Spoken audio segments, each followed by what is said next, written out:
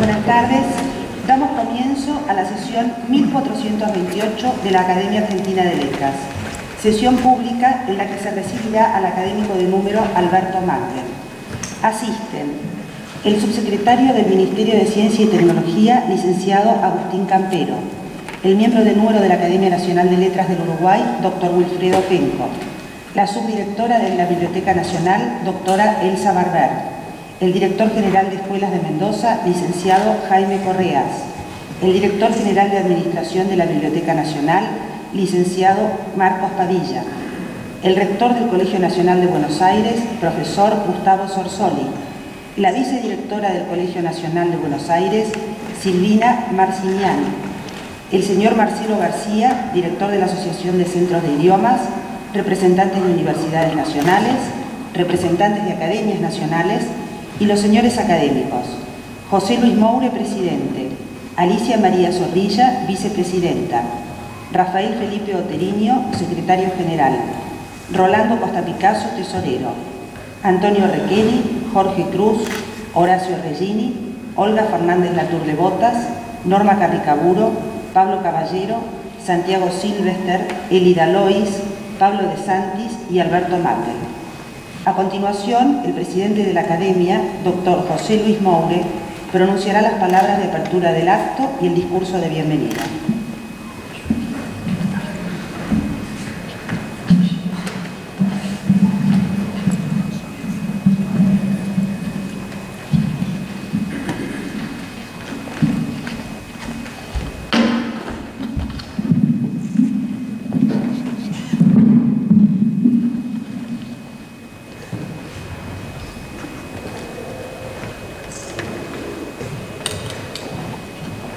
Buenas tardes. Trazar una línea biográfica de Alberto Mangel, a quien hoy recibimos formalmente en esta academia, aunque la procuremos escueta como la ocasión nos requiere, resulta un inevitable ejercicio de asombro. Entre mis contemporáneos porteños, y Mangel lo es distanciado apenas por un año, ser hijo o nieto de inmigrantes es contingencia común pero no lo son buena parte de los hechos que fueron jalonando su vida, extraordinaria en el sentido más preciso del adjetivo. El primogénito de un matrimonio argentino de origen judío, abuelos austríacos, rusos y polacos, que asegura recordar la imagen de una pared de ladrillos y el aroma del arroz con leche percibidos cuando tenía un mes, fue criado casi exclusivamente por Ellen Slonitz, una niñera checoslovaca que desde el primer día se comunicó con él en inglés y en alemán. Esta circunstancia no pasaría de ser llamativa si no fuera porque los padres de Mangel desconocían esas lenguas, razón por la cual, aún viviendo bajo el mismo techo, no pudo hablar con ellos hasta los siete años, cuando, forzado por la escolarización argentina, aprendió español a su regreso de Israel, donde su padre se había desempeñado como el primer embajador de nuestro país. Sus hermanos menores, que se movían en otro ámbito de la misma casa de Tel Aviv, fueron criados en inglés por una institutriz suiza, de modo que durante aquella infancia regida por tan singular paideia doméstica, el inglés fue la esporádica y única lengua franca fraternal, ya que no filial. En una habitación del subsuelo de la embajada, Alberto Mangel, cuidado, guiado e instruido por Ellen, nació al mundo de una cultura esencialmente europea del cocinero alemán aprendió canciones de los bebedores de cerveza y poemas de Heine, que como los recitados de Goethe o Schiller de Ellen habían de fijarse para siempre en su memoria, como las dunas y el mar en el horizonte en el que se desvanecía un parque cercano. El recuerdo que guardo de mi infancia es el de una gran felicidad, confesó alguna vez. La lectura, iniciada con la precocidad de quien intuía que había de dedicarle el resto de sus días, respondió al impulso de una curiosidad plural y voraz. Desde mis primeras lecturas, afirmó, el mundo real y el mundo imaginario se confundieron, no de una manera que me haya llevado a vivir en un mundo ilusorio, sino por el contrario, volviendo concreto lo imaginario. Ese chico argentino bilingüe, criado en Israel, que no hablaba español ni hebreo, iniciándose sin saberlo en un nomadismo que sería también una marca de su vida, visitó con él en Venecia, París, Jordania y Alemania. Ya en Buenos Aires, interrumpidas las funciones diplomáticas del padre en 1955, tras el derrocamiento de Perón, mientras cumplía su educación primaria en distintas escuelas, una pública, dos inglesas y otra alemana, Mangel aprende el idioma y la realidad de un país enteramente nuevo. Se interesa por el dibujo y la pintura, viaja a Estados Unidos y acrecienta lecturas. En 1961 ingresa al Colegio Nacional de Buenos Aires, un hito de cuya importancia Mangel nos da cuenta con estas palabras. Si tuviera que elegir un momento determinante a partir del cual concibo mi vida de cierta manera, cada momento de la vida, incluso el más trivial, determina el curso de la existencia, claro está, pero hay algunos más importantes que otros. Si tuviera que elegir el más importante, sería ese periodo de seis años de escuela secundaria. Las jornadas en ese colegio exigente, laico y liberal se despliegan sobre el fondo de la poderosa vida intelectual argentina de los 60 y de sus intereses ilimitados. Cine, teatro, música, campamentos y política estudiantil. De todo participa Mangel amparado por la libertad que le brinda su habitación biblioteca propia en la terraza de la casa familiar porteña, independizado ya desde hacía tiempo de la tutoría de Ellen, a quien se había encomendado el cuidado de una hermana menor. Al momento de su egreso del Colegio Nacional de Buenos Aires, Alberto Mangel, un adolescente que ya ha trabajado en la librería anglo-alemana Pigmalión, que ha frecuentado a escritores, que ha conocido a Borges y le ha servido de acompañante y de lector, cuenta con una certeza definitiva que él mismo anuncia con parquedad de lapidario. Sabía que quería vivir rodeado de libros. A su paso fugaz por la Facultad de Filosofía y Letras, cuyos cursos lo aburren, sucede un viaje casi iniciático a Europa donde descubre que quiere vivir en París. Regresará, sin embargo, a la Argentina, colaborará en la editorial Galerna, publicará traducciones en el Centro Editor de América Latina y editará algunos clásicos españoles anotados en las colecciones didácticas de Capeluz. En 1969, con pasaje de tercera clase y 100 dólares, parte en barco hacia España y de allí, finalmente, aunque este adverbio es siempre inadecuado en la vida de Mangel, hacia París. Allí redacta informes de lectura para Gallimard y Lettres Nouvelles, conoce escritores, Severo Sarduy, García Márquez, Cortázar, e invierte indolencia bohemia en mesas de café que prolonga en Londres, donde sobrevive pintando reproducciones de cuadros sobre brazaletes y cinturones de cuero. Al regreso de un viaje circunstancial a París, un incidente fronterizo le impide la vuelta a Inglaterra, lo que lo obliga a residir una vez más en la capital francesa. En 1971 comparte un premio de cuentos convocado por La Nación. Vuelve entonces a Buenos Aires y aquí el diario lo contrata como redactor y permanece por más de un año. A fines de 1973 regresa a Europa. A propuesta de Franco María Ricci se traslada a Milán y traba amistad con Gianni Guadalupi, su editor italiano, con quien comienza la elaboración de una guía de ciudades imaginarias que vería la luz seis años más tarde. Un corto regreso a París preludia la que acaso es la más exótica estación de este recorrido biográfico. En 1975 Mangel se hace cargo de una librería en Tahití, donde se ocupa de los libros en inglés y de traducciones. Pero después de los años, el calor y la lejanía de una vida cultural más próxima a sus intereses lo devuelven a París.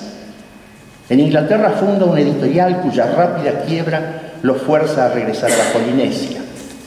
En 1979 aparece aquella guía de lugares imaginarios iniciada en Italia que logra rápido éxito y diferentes traducciones. Después de considerar la posibilidad de trabajar como editor en Japón, opta por instalarse en Canadá.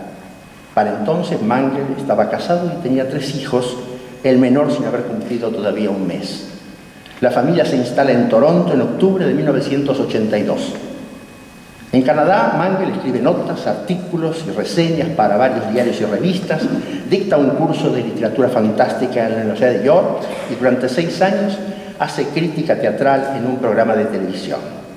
En ese país vivirá hasta 1992, adoptará su nacionalidad y dirá de él, de la misma manera que debo mi aprendizaje intelectual al Colegio Nacional de Buenos Aires, le debo mi carrera literaria a Canadá Fue el primer lugar donde confiaron en mí.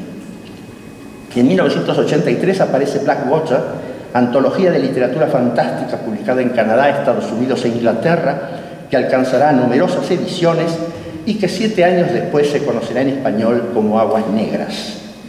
En 1991 ve la luz su primera novela, News from a Foreign Country Came, Noticias del extranjero, su título en español, que recibe el premio de la Sociedad de Autores Canadienses. Un pequeño ensayo sobre la historia de las antologías, género que es de alguna manera metáfora de toda su obra, escrito para el New York Times, dispara en Mangel la idea de un trabajo sobre qué significa ser lector, germen moderno de un proyecto que, iniciado en Toronto, crece al abrigo de una estancia en la ciudad alsaciana de Celestat y culmina, después de siete años, en París, con una historia de la lectura, publicado en inglés en 1995 y en 2005 en traducción española. El libro alcanzará numerosas traducciones y ediciones en distintos países y hace de Mangel un escritor definitivamente reconocido en Europa y América. Recibe el premio Médicis y Bernard Pivot lo lleva a su famoso programa Apostrophe.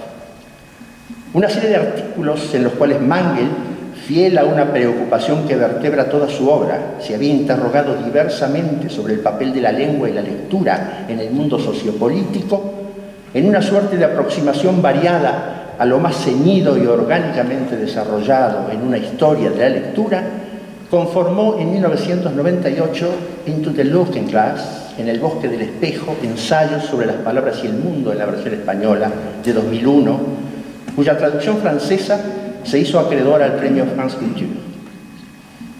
Reading Pictures, leyendo imágenes 2002, responde a la convicción igualmente axial en la concepción cognoscitiva y estética de Mangel de que el hombre es lector desde el nacimiento y que por ello toda imagen, sea realista, abstracta o azarosa, puede ser leída con absoluta libertad interpretativa. Mangel trabaja en Londres durante dos años haciendo informes para una editorial y reside nuevamente en Calgary, Canadá, hasta 2000 como beneficiario de una fundación de artes y letras. En 2004 publica la novela breve Stevenson Under the Palm Trees, traducida ese mismo año como Stevenson bajo las palmeras. ¿Acaso el deseo de tener a mano su enorme biblioteca formada por la insaciabilidad lectora que los párrafos anteriores permiten imaginar obligada a quedar detrás de él, depositada una y otra vez en distintos lugares, un transitorio desahogo económico y las grandes y disuasorias distancias que pautan los desplazamientos en Canadá para quien, como Mangel, se niega a conducir automóvil, lo lleva a buscar en Francia un lugar más adecuado. Lo encontrará en el presbiterio de Mondion, en la localidad de Poitiers. La construcción de la biblioteca insumió un año y tres meses la ubicación ordenada de los volúmenes. Esa tarea de revisión y reencuentro dio origen a The Library at Night, la biblioteca de noche en español. En ese año aparece la nueva recopilación de artículos titulada en español Nuevo Elogio de la Locura, ligeramente comentada por el autor con esta aclaración. Para un lector esa puede ser la razón esencial, tal vez única de la literatura, que la locura del mundo no nos conquiste por completo. Apresuro ya esta desmedida, no injusta presentación. En los años que siguen, en un listado seguramente incompleto y limitándome a los títulos en español, Mangel da a conocer la novela Todos los hombres son mentirosos, 2008, y los ensayos con Borges y Diario de Lecturas, ambos en 2004, La ciudad de las palabras, 2010, El sueño del rey rojo, 2012, Personajes imaginarios en el mismo año y Curiosidad, una historia natural en 2015. Alberto Mangel tampoco se quedó en Mondión. En 2015, obligaciones docentes contraídas en las universidades de Princeton y de Columbia lo llevaron a Nueva York, donde a finales de ese año lo sorprende el ofrecimiento de hacerse cargo de la dirección de la Biblioteca Nacional de la Argentina, que asume en 2016 curiosa movida del destino que impensadamente lo devolvía al país para instalarlo en el puesto que ocupara Borges, a quien 50 años antes le había servido de lector. Sería imposible dar aquí debida cuenta de los numerosísimos artículos y notas de Mangel publicadas en prestigiosos diarios y revistas literarias del mundo, así como su labor como profesor invitado y conferencista en diversas instituciones culturales y universidades inglesas, canadienses, norteamericanas, alemanas e italianas. Nuestro académico es miembro de la Unión de Escritores Canadienses, del PEN Internacional, de la Fundación Guggenheim, de la Royal Society of Literature de Gran Bretaña. Ha sido distinguido con el grado de comandante de la Orden de las Artes y las Letras en Francia. Es doctor honoris causa de las universidades de Lieja en Bélgica, Anglia Ruskin, Cambridge, Inglaterra, Ottawa y York, Canadá. En 2013, esta Academia Argentina de Letras lo había nombrado correspondiente en Francia. De sus numerosos premios y distinciones, bástenos citar los que él ha querido destacar en su currículum. El Medicis de Ensayo, Francia, por una historia de la lectura, el McKitterick de Inglaterra por su novela Noticias del extranjero, el Grenzane Cavour, Italia, por su diario de lecturas. También obtuvo el premio de la Fundación Germán Sánchez Ruiz Pérez de España y el Roger Quelois de Francia por el conjunto de su obra traducida, como ya lo llevamos señalado, a más de 30 idiomas. Si se nos forzara a definir de un trazo la figura del académico que hoy ingresa a esta casa, diríamos que Mangel es esencialmente un lector, un ejecutante voraz y gozoso de una actividad ejercida sin pausa desde la infancia y que él mismo caracterizó como una percepción organizada del universo que tiene la pretensión de que todo trátese de un texto o de una imagen, sea descifrable e interpretable. Él lo dijo así, cito, llegamos a este mundo empeñados en encontrar una narrativa en todo, en el paisaje, en el cielo, en las caras de los demás y por supuesto en las imágenes y palabras que nuestra especie crea. Leemos nuestras propias vidas y las de otros, leemos las sociedades en las que vivimos y aquellas que existen más allá de nuestras fronteras, leemos imágenes y edificios, leemos lo que se encuentra entre las pastas de un libro. La literatura, en la concepción de Mangel, no es ni lujo ni pasatiempo, sino una forma de interrogar el mundo. La calidad del escritor se manifiesta en su capacidad para instalar en la obra lo que Mangel llama pasajes disimulados, intersticios a través de los cuales los lectores pueden confrontar e inteligir de manera individual y en libertad una realidad que los interpela, enriquecida o más compleja o simplemente diferente. En un paréntesis que debería interesar a todo docente de literatura, Mangel señaló que sólo cuando el alumno advierte que en la obra es su historia la que cuenta, su lugar el que se define y su tiempo el que se está reflejando, se vuelve lector. Y si esa experiencia no se cumple, aclara, no hay razón para pensar que los libros sean más importantes que los videojuegos. El manga el escritor viene a ser la contracara obligada de ese lector cotidiano. Es el relator de esa experiencia, el comentarista de los hallazgos, el geógrafo de un universo que cada acto de lectura reconfigura.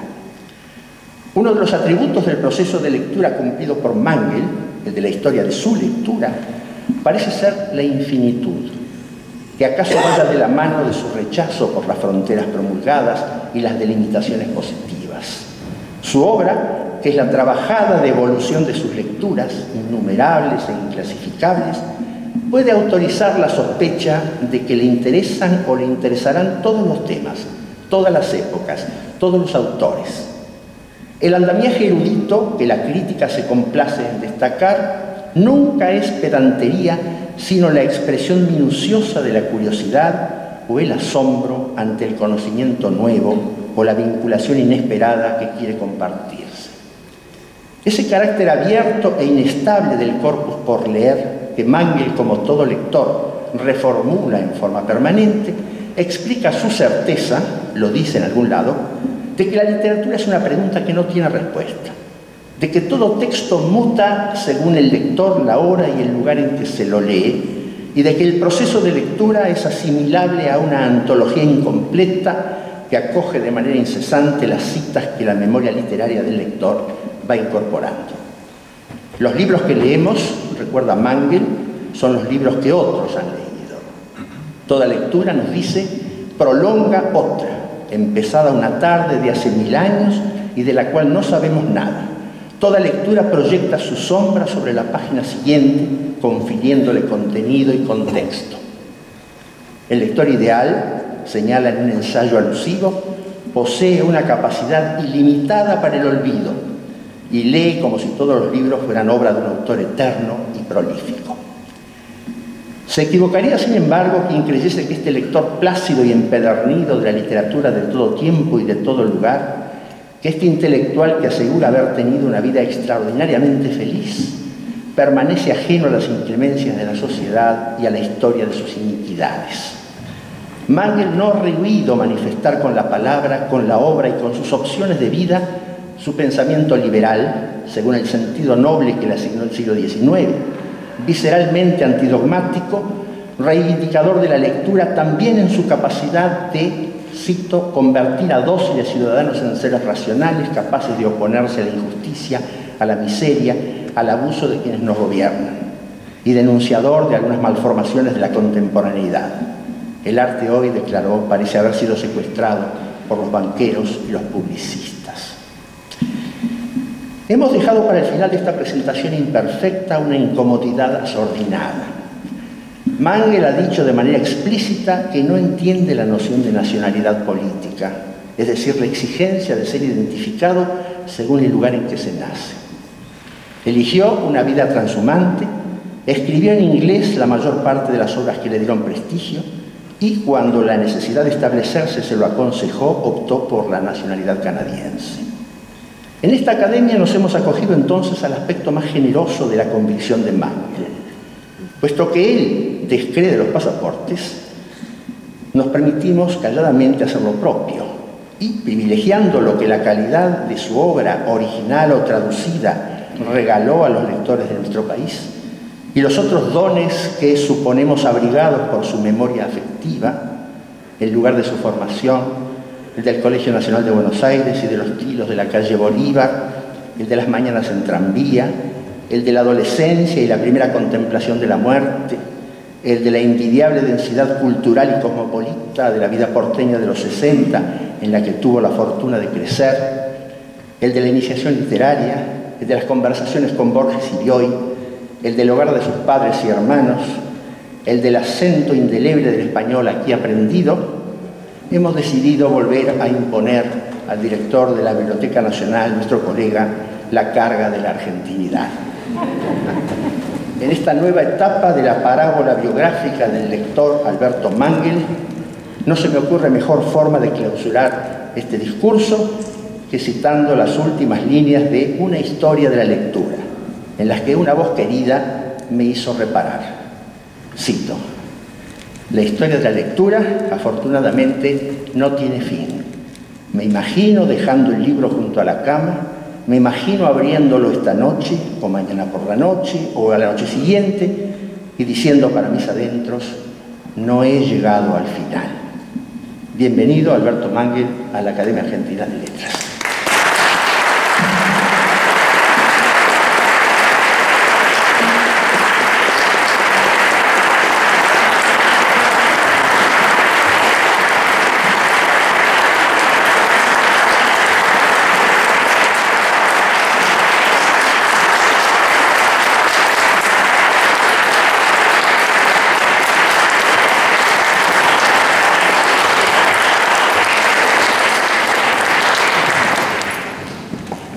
Continuación, el académico Alberto Mangel pronunciará su disertación sobre elogio del diccionario y recibirá la medalla y el diploma de miembro de número.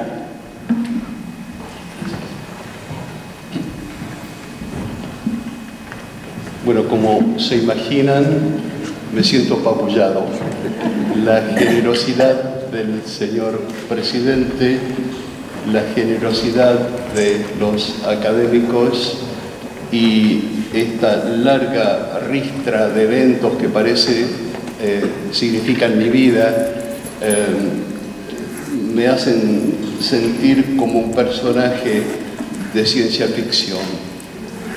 No sé cómo pude vivir en tantos lugares y pasar por tantas cosas, pero aquí estoy y se los agradezco.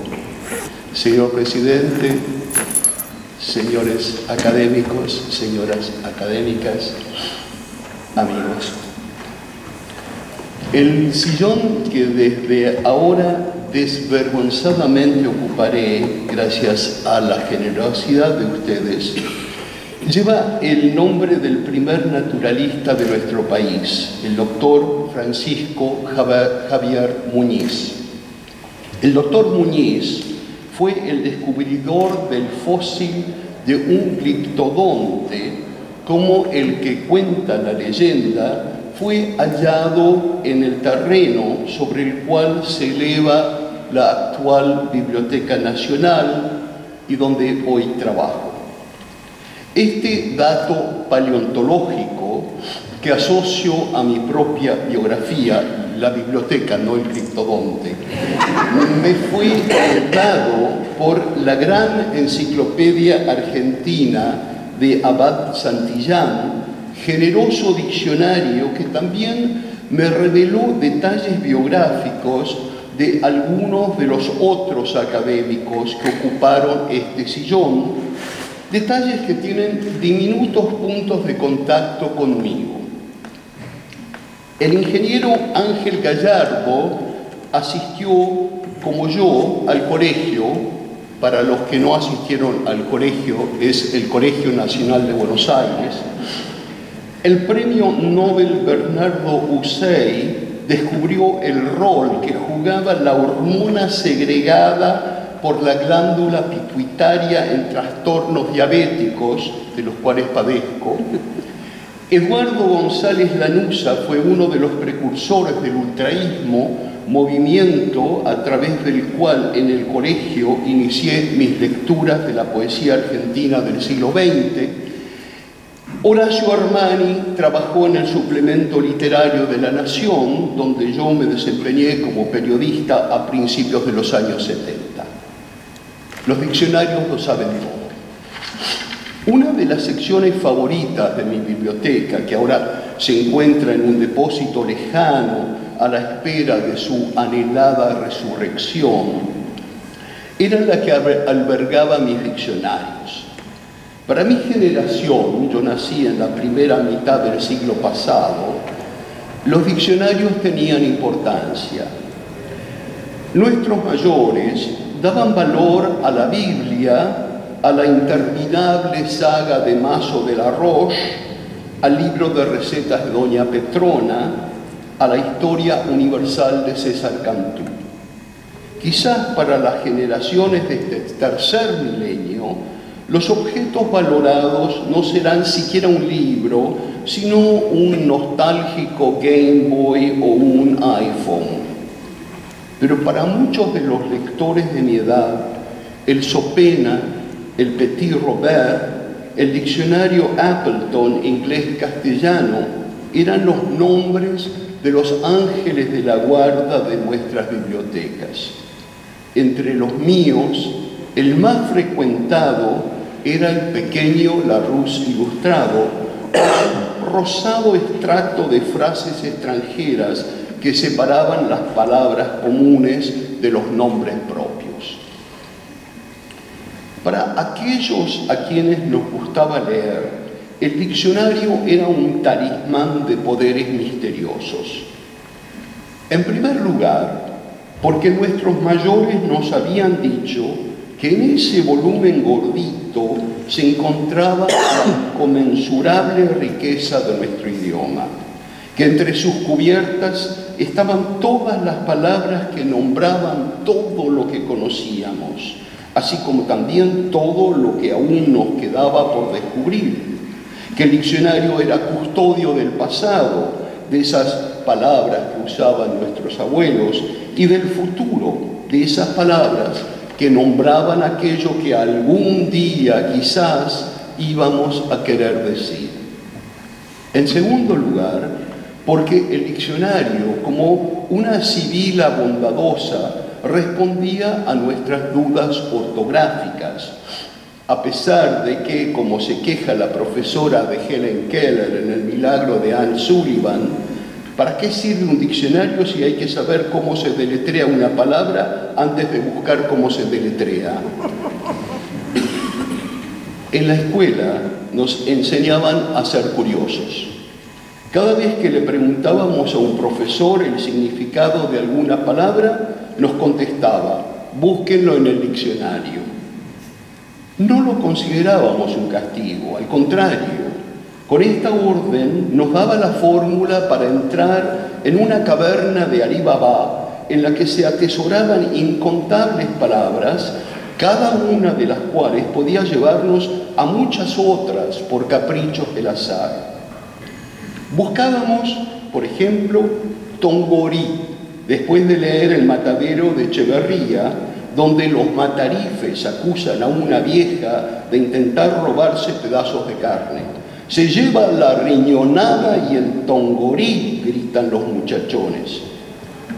Y descubríamos no solo que tongorí es un trozo de entraña o carne dura, sino que en partes de África se llama tongorí o tongorret a la cigarra comestible.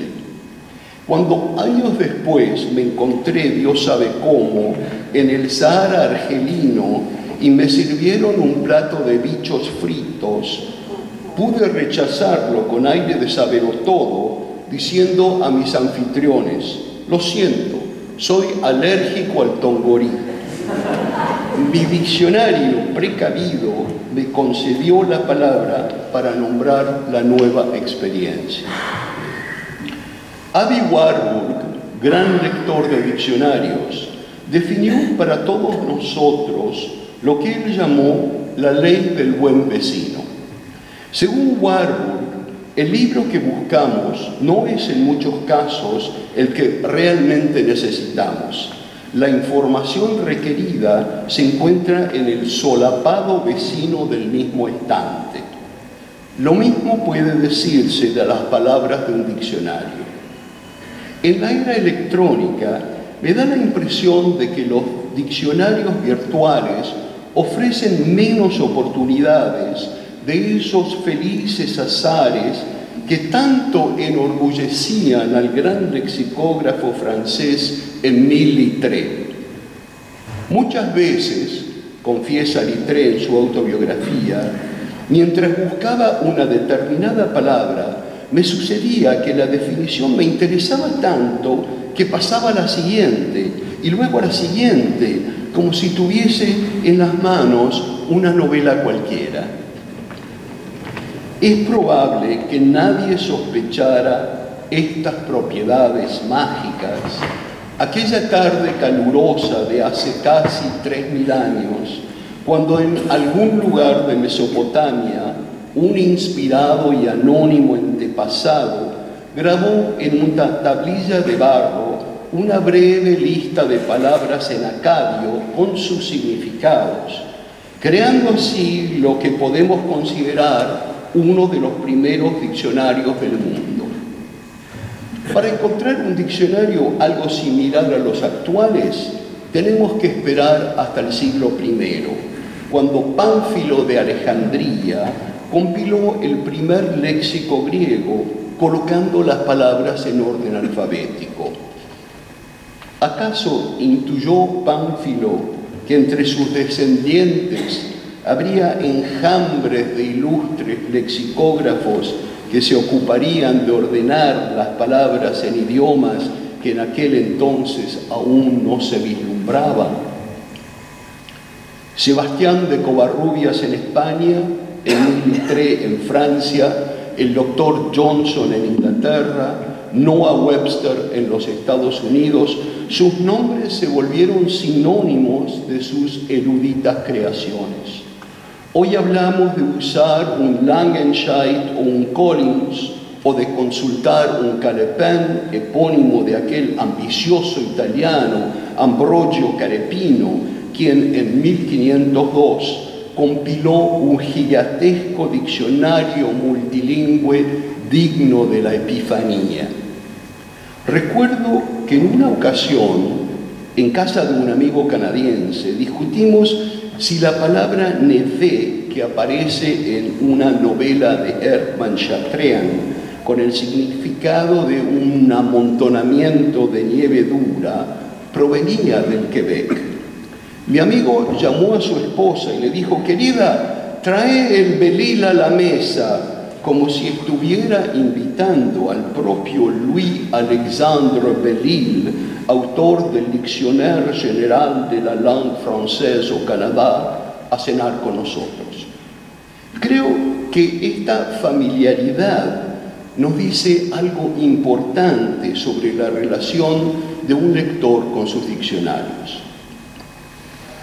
Los creadores de diccionarios son criaturas asombrosas, cuyo deleite por encima de toda otra cosa se halla en las palabras mismas. A pesar de que el doctor Johnson definió al lexicógrafo como un inofensivo laburador, los autores de diccionarios son notoriamente apasionados y hacen caso omiso de las convenciones sociales cuando se encuentran abocados a su noble tarea.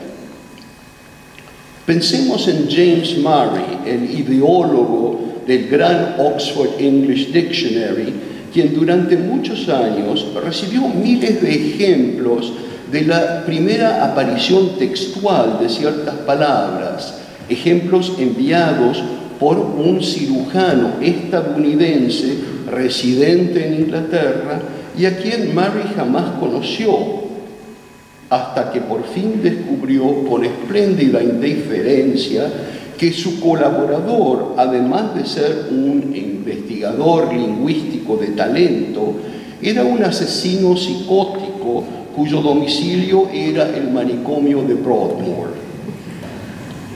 Pensemos en Thomas Cooper, el erudito del siglo XVI, que compiló durante muchos años un importante diccionario latín-inglés. Cuando iba por la mitad de la obra, su esposa, irritada porque él se quedaba trabajando hasta muy tarde, entró en su estudio, robó sus apuntes y los arrojó al fuego.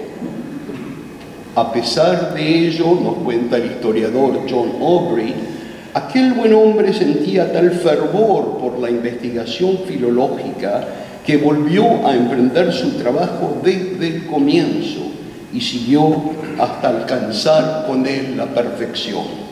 Como recompensa, concluye Aubrey con admiración, fue nombrado obispo de Winter.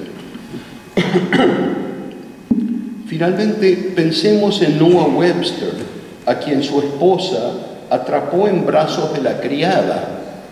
Doctor Webster, exclamó, estoy sorprendida. No, señora, la corrigió él, yo soy el sorprendido, usted está asombrada. Los, los lectores de diccionarios profesan pasiones similares. Flaubert, gran lector de diccionarios, señaló irónicamente en su diccionario de lugares comunes, diccionario, decir, solo sirve a los ignorantes. Mientras escribía Cien años de soledad, García Márquez empezaba cada día leyendo el diccionario de la Real Academia Española, cada una de cuyas nuevas ediciones, dijo famosamente Paul Broussac, faire regretter la précédente. Ralph Waldo Emerson leía el diccionario por el placer literario que le ocasionaba. No hay hipocresía en un diccionario, decía, ni exceso de explicaciones, y está lleno de sugerencias, de, de materia prima para futuros poemas y relatos. Vladimir Nabokov encontró en Cambridge los cuatro tomos del Diccionario de Acepciones de la Lengua Rusa Viva de Vladimir Dal y decidió leer diez páginas por día, puesto que confesaba que lejos de su patria el miedo de perder o corromper a través de la influencia extranjera la única cosa que había rescatado de Rusia, su idioma, se volvió una verdadera obsesión. En el mundo del alfabeto, la secuencia convencional de las letras constituye el esqueleto de un diccionario. El orden alfabético posee una exquisita sencillez que evita las jerarquías implícitas en la mayoría de los otros métodos. Las cosas enumeradas bajo la A no son ni más ni menos importantes que las enumeradas bajo la Z, salvo que en una biblioteca la disposición geográfica hace que en algunas ocasiones los libros A del estante superior y los libros Z del estante inferior reciban menos atenciones que sus hermanas en las secciones intermedias. Jean Cocteau juzgó que un solo diccionario bastaba para contener una biblioteca universal, puesto que cada obra maestra no es más que un diccionario en desorden. Es cierto, en un desconcertante juego de espejos, todas las palabras utilizadas para definir una cierta palabra en un diccionario deben ellas mismas estar definidas en ese mismo diccionario. Si somos, como lo creo, la lengua que hablamos, los diccionarios son nuestras biografías. Todo lo que conocemos, todo lo que soñamos, todo lo que tememos o deseamos, cada, cada logro, cada pasión, cada mezquindad está en un diccionario. El término diccionario se ha confundido con el de enciclopedia y ahora se refiere no solo a inventarios de palabras, sino a repertorios temáticos de todo lo que existe en el universo, incluyendo el universo mismo.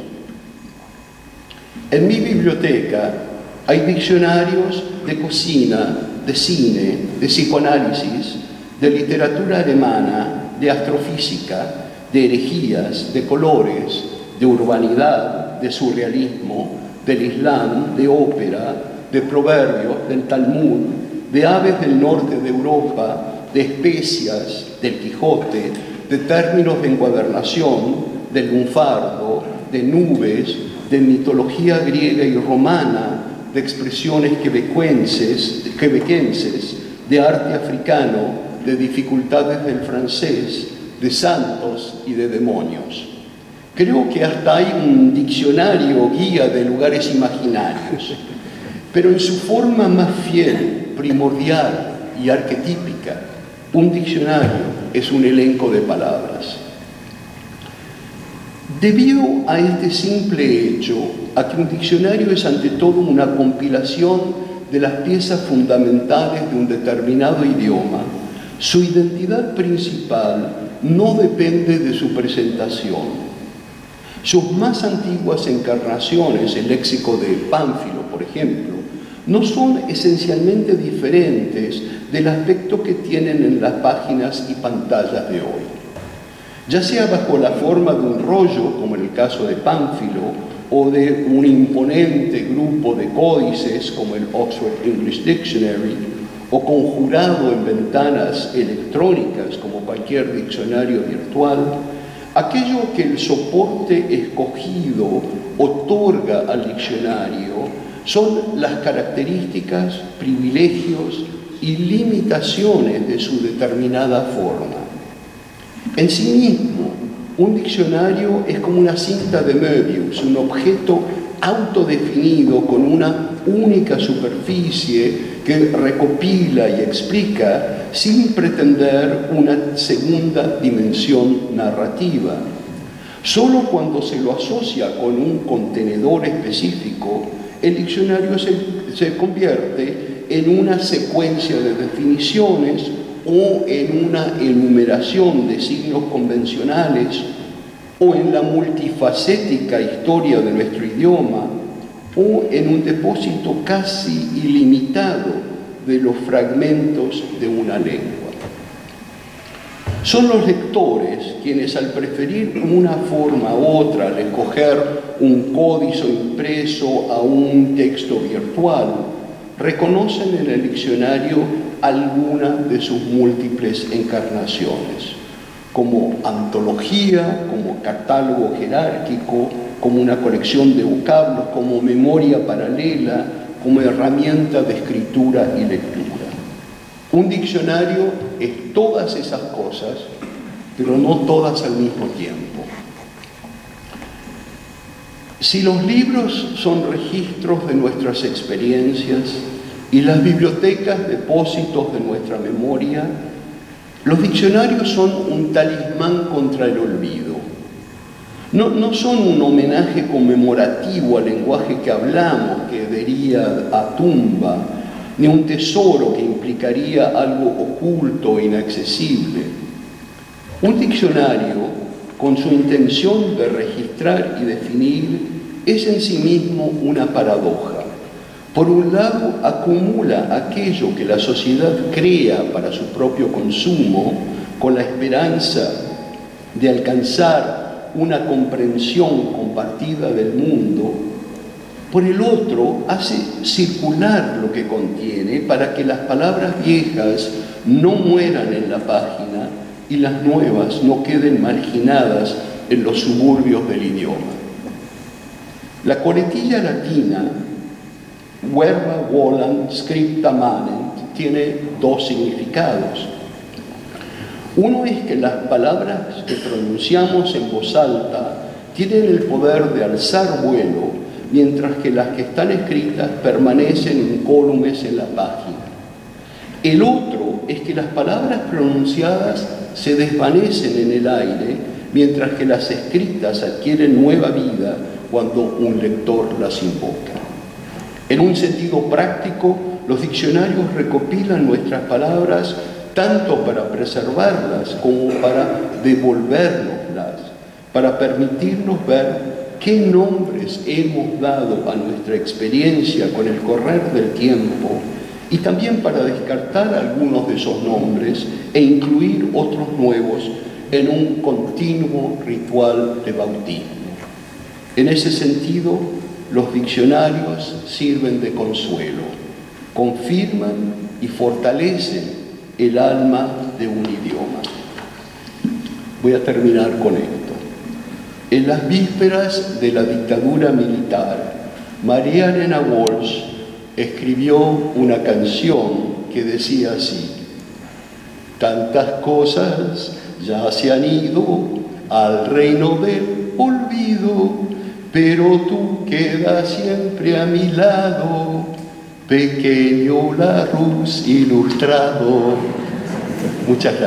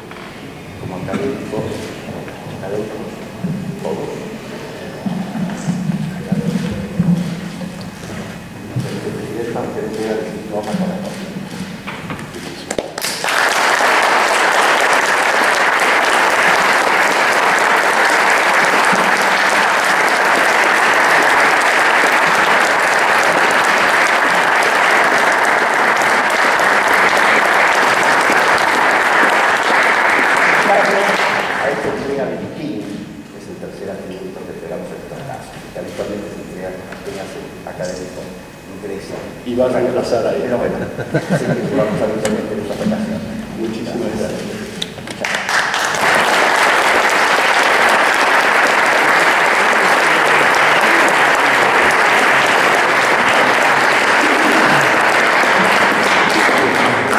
Con esto damos por finalizado el acto. Les agradecemos su presencia. Buenas noches.